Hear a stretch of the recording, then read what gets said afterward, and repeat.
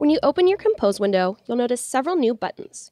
You can use these to suggest meeting times to a prospect, attach a trackable piece of content, create a follow up task, or even turn an email into a tout template with the click of a button.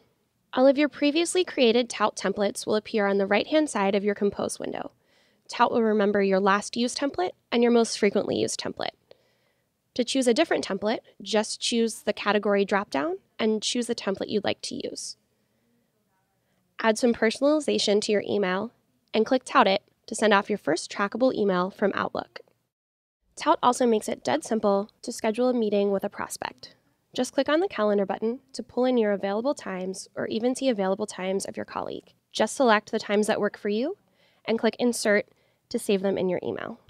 You can also attach trackable content by clicking on the Content button and choosing or uploading a PowerPoint, Word document, or PDF to send off to your prospect.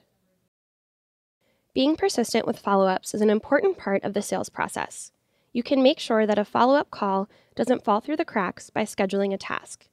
By clicking on Create Task, choosing the due date and task type, and choosing Save will sync your tasks with Salesforce so that you never miss a follow up again. An exclusive function of Tout in Outlook is the ability to save an email as a template with the click of a button.